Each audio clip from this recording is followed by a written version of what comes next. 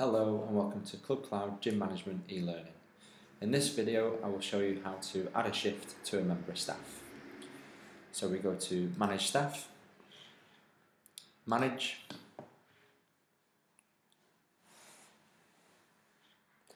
add a new shift and select the date of the shift, start time, finish time and if the shift repeats every week, every other week, and so on. And then add a shift. Okay, hope this helps with showing you how to add a shift to each member of staff. Thank you.